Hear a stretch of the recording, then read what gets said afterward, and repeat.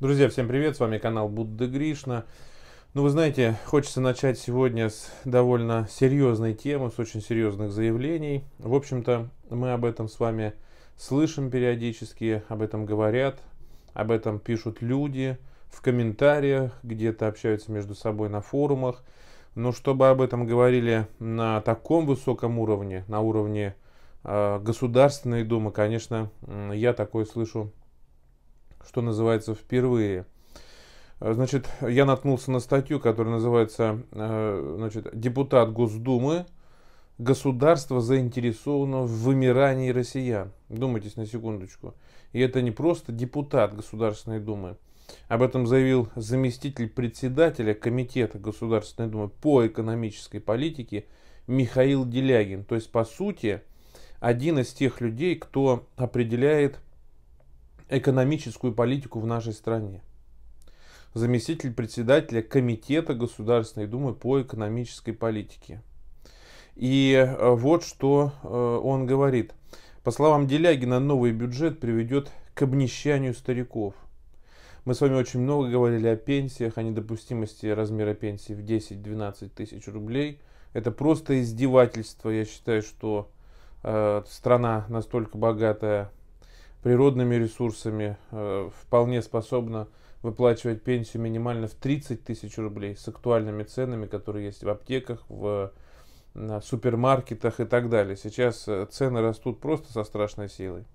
Задача государства в том, чтобы выморить максимальное количество людей, говорит Делягин. Значит, вот что он пишет у себя в телеграм-канале. У нас рекордная сверхсмертность в нынешнем году. Кто-нибудь из государственных мужей этим озабочен? Нет. У меня есть ощущение, что задача государства в том, чтобы выморить максимальное количество людей. И оно с этой задачей, в общем-то, справляется. Вы знаете, меня почему удивляют эти высказывания? В общем-то, еще раз говорю, мы это все понимаем и говорим об этом, и действительно, если так посмотреть на ситуацию, в общем-то, возникает вопрос подобного характера. Другое дело, что вы знаете, человек, что называется, находящийся в системе, человек, являющийся заместителем председателя комитета Государственной Думы. Я не знаю, как он, э, любит ли он охоту и так далее, но у меня возникает стойкое ощущение, что после таких заявлений, значит, он может оказаться рядом с каким-то лосем, например, да. Ну, просто я не слышал, чтобы люди вот такого уровня делали э, такие громкие, резкие заявления. Нет, он в принципе-то молодец, что он озвучил вот, вот, вот это. Но тоже, что называется, а, как он оценивает свои перспективы.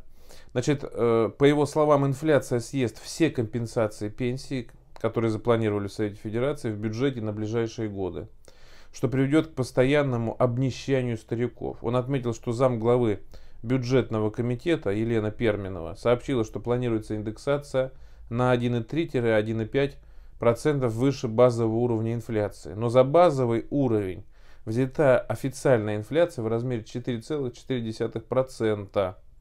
То есть за базовый уровень берется 4,4%, и э, индексация будет производиться на 1,3-1,5% выше базового уровня.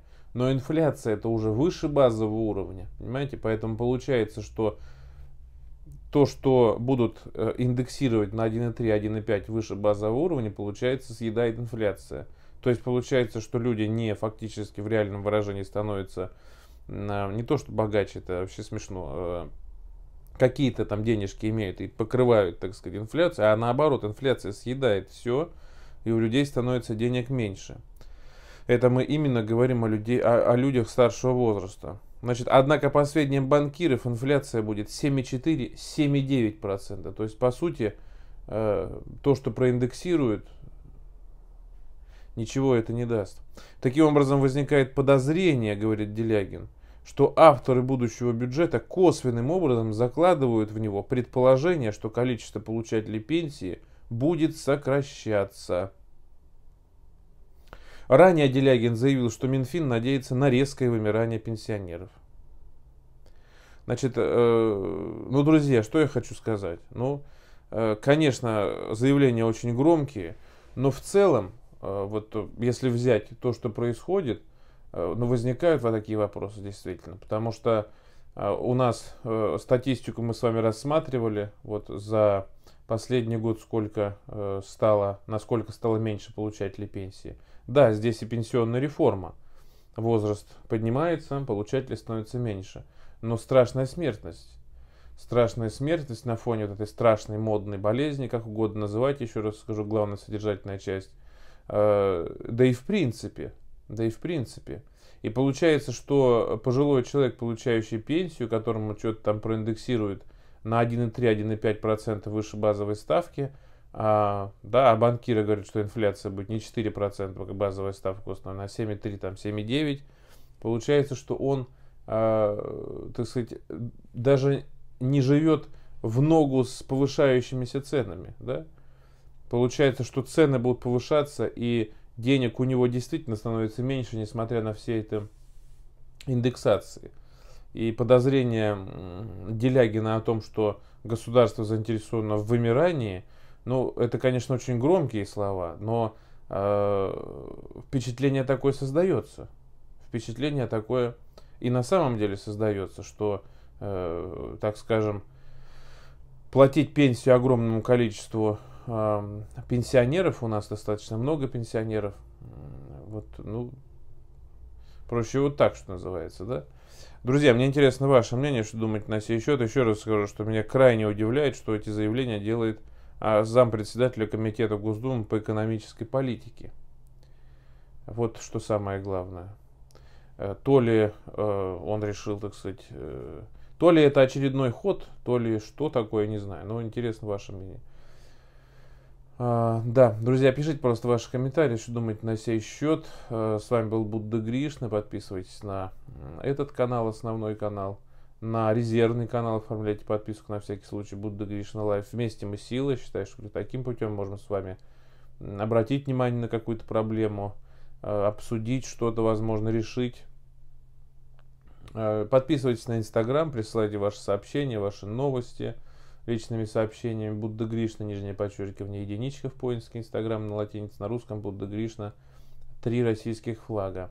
Инстаграм довольно интересный ресурс, там можно и пообщаться, посмотреть фотографии, посмотреть разные видео а, и так далее. Поэтому а, тоже подписывайтесь. Что касается пенсионеров, друзья, я хочу сказать, что когда я начал рассматривать эту тему, я стал получать такое огромное количество писем, больше всего, конечно, на электронную почту. Ну и в Инстаграм тоже пишут э, люди, получающие пенсию. И эти истории, которые ты читаешь, это, конечно, просто невозможно, потому что когда, например, у пожилого человека нет, я, вы знаете, даже многих получателей пенсии не назову пожилыми, потому что это люди настолько они настолько молоды душой, мозгами, э, я имею в виду, настолько хорошо все понимают, соображают и разбираются во всем, что просто выжив... они выживают. Они выживают. По-другому не скажешь никак.